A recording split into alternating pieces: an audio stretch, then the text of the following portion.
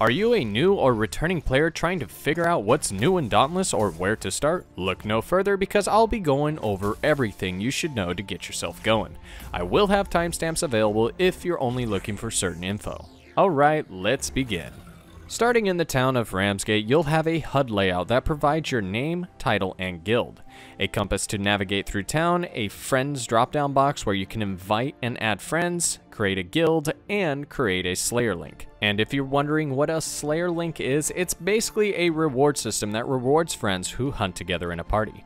You can have three links at one time, and once seven days have passed, depending on how much XP you have earned together, will determine the amount of rewards you'll be able to get.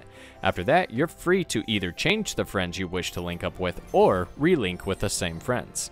Alright, onto the remaining portions of the HUD. You got the typical chat, your items, and experience bars, which I'm going to explain what these bars mean. The top number is your current weapon skill level, which caps out at level 20, and the one below is your prestige level. The top bar is your typical XP bar, and the one below is banked XP that stores extra XP after you've reached the max level. And in return, this will give you a head start on leveling the next time you prestige, which can be done by using the Spark Forge located over here. Okay, since I have the map up, let's explain the characters and roles that many of them have. Marcus, Kat, Brianni, and Zelia are all NPCs that strictly provide only quest as far as I can remember. Gregaria Flint here is our store and hunt pass NPC, and in the store you can buy various cosmetic skins, emotes, banner designs, XP boost, and more with real money known as platinum. The Hunt Pass or Battle Pass for those familiar with other games is a pass you level up to earn rewards. There is both a free track and a paid premium track. At the end of the track, once you've collected all the rewards in the pass, special coins can be earned each time you level up the pass for there on out. These coins, which can also be earned by completing challenges, are made to be spent in the reward cache, where you can unlock more cosmetic skins and other rewards. To access the cache, you'll find it in the menu under Hunt Pass and Rewards. Next, we have Wills, Zai, and the Scarred Master, who are all NPCs that you can go to to craft weapons. To craft a weapon, you're going to need materials to make it, and each weapon will have a perk, and some can also have unique effects on them. The weapons can also display the benefits of its element type as well as its cons. There is also an option to unhide and show more info if you're wanting to know more information about the weapon. After you craft a weapon, you'll be given the option to power surge the weapon, which fully upgrades the weapon and maxes out its stats. To power surge, you're going to need Aether Hearts, which can be earned by either spending 100 Aether Sparks and prestiging a weapon class, or if you're not a fan of prestiging, you can spend 200 Aether Sparks instead. Aether Sparks, for those who are wondering how to collect them, can be acquired in many different ways such as hitting certain levels in a hunt pass or reaching a certain level in a weapon mastery, but the one method that is easier to do is to gather them by completing island events, which are events that pop up while on one of the hunting ground islands. Alright, let's go back to the map. Next we have Moira Heightskidder. This lovely NPC is our armor crafter. Like the weapon crafting menu, the armor menu isn't very different. But one I want to bring up is these little slots right here. You might have noticed them when I was going through the weapon crafting layout, so now I think it's a good time to go over what these cell slots are. Cell slots, as the name implies, are used to put cells in, which gives you special perks that enhance your Slayer in various ways, and with a proper build you can quickly tear a behemoth apart. So to do that, here is what you'll need to know. There are five cell types, and each cell will have perks related to that type, and the slot that is on the weapon or armor piece can only use that type of cell, making it very important if you're looking for a particular perk. The only exception to this rule is the prismatic cell slots, which are only found on legendary equipment. It is also very important to know that there is a limit on how much benefit you'll get from a perk, and that limit is when the perk reaches plus 6. Once at plus 6, the perk is no longer increasing its benefits, so to fully utilize an armor build in most cases, you'll want to have as many plus 6 perks in your build as much as possible. And a simple way to set yourself up for that is to pair up two armor pieces with the same perk.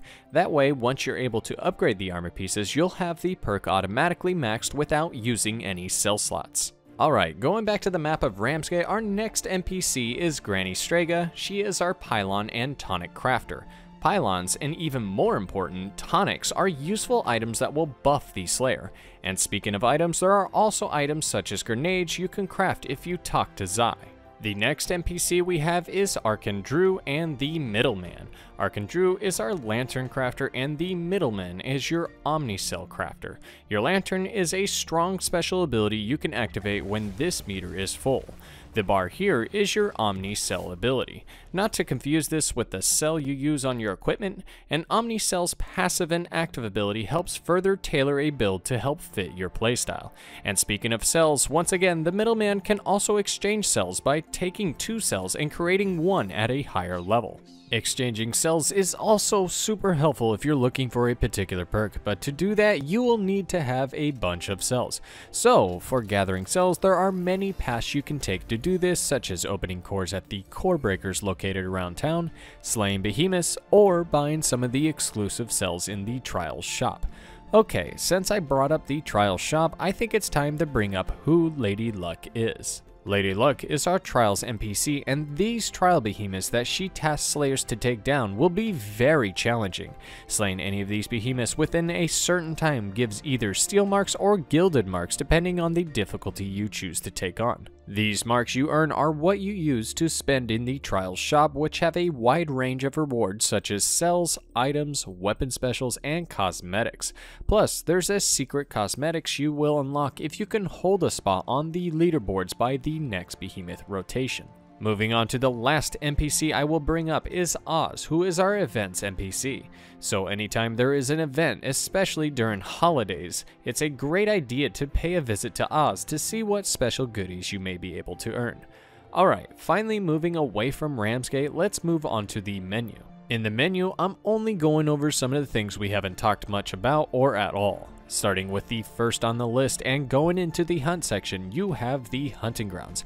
And in any of one of the islands you decided to depart to, we'll have several behemoths on the island that you can take down alone or publicly with other slayers. In this section, you can also see there's a list of details ranging anywhere from behemoths to events that can be found whenever you select an island.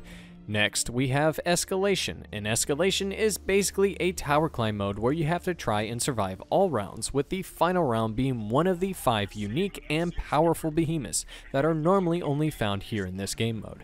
You can either choose one of the elemental themed escalations or select patrol and be randomly sent to one of them. I will mention, taking down any of these escalation behemoths will unlock powerful legendary equipment that you can craft.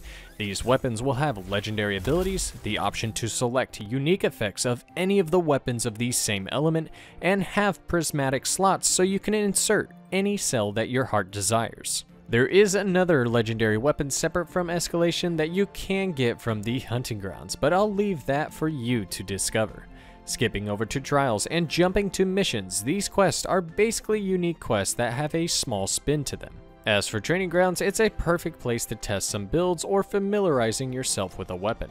Next up on the menu, we have My Slayer, and under My Slayer, you'll be able to equip everything you want, as well as customize your Slayer with a long list of accessories you wish to wear. Back to the menu again, we have the Slayer's Path, which allows you to unlock everything you wish to do and gain passives that will strengthen your Slayer as you progress and unlock each node.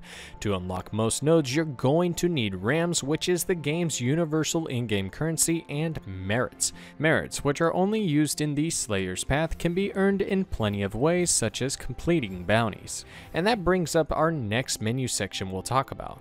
Under Quest and Progression, the first one on the list will display the quests, bounties, and challenges you have available. The Quest tab is self-explanatory for the most part, and Challenges tab is basically dailies and weeklies if you're familiar with other MMOs. But the one I want to talk most about is the bounties. Bounties are cards that will reward you with merits, weapon skill XP, and hunt pass XP once they've been completed. To get bounties, you're going to need bounty tokens, which can be earned by opening daily fountain cores or by purchasing tokens. Once you can use a token, you'll be able to choose one of the options available to be your bounty. Onto the journal, this is where you want to read more about the lore and have brief explanations on how to play the game. The last one on the list here is Mastery, and Mastery more or less shows your accomplishments and how well you've mastered a behemoth or weapon. As you progress, rams, merits, cores, Aether Sparks, or titles will be given to you each time you reach a level in the Mastery. As for the remaining tabs, these are pretty much standard in most games or MMOs. The moves list does have some great information regarding weapon combos and some general combat info. Alrighty, that should cover everything regarding the menu and everything within Ramsgate. I think it's time we jump into the Shattered Isles. Now that we're out and about, let's go over a few things you may want to know during combat. When attacking the behemoth, you'll notice there is a few different colored numbers popping up. White is the normal base damage that the player deals to the behemoth. Yellow means part damage, and after the damage threshold is met, the part will break allowing the player to possibly acquire one of the materials from that part. Blue means staggered, and when the threshold is met, the behemoth will collapse and be exposed for a short time. Plus, you can tell the behemoth is about to be staggered by the swirling stars around the behemoth's head. And red means wound, and when you exceed the threshold on the behemoth part, that area will begin to leak aether from its body. Any player that hits that part will have multiple stats get buffed for a short period of time. Another thing I would like to point out is if you're using an elemental weapon, some elements such as Shock, Flame, Frost, or Terra will inflict a status debuff or effects that will aid the Slayer in various ways once a threshold is met. And if you see this indicator, this means the behemoth can be interrupted during this time window. To find out what moves can do this, check out the move list in the menu I mentioned earlier. Lastly, and before I forget, there is also a behemoth life bar, and you can also find chests located throughout the island. You need a key to unlock them, which you can get by purchasing in the store or by opening fountain cores. Alright everyone, that should cover nearly all the things you'll need to know to get yourself started in the right direction to become a slayer a behemoth should fear. If you want to learn more on how to slay a certain behemoth, check out my behemoth breakdown guides. This video did take some time to make, so don't forget to like and subscribe if you want to keep up to date on the content I upload. Thank you everyone for watching, and I hope to see you in Dauntless.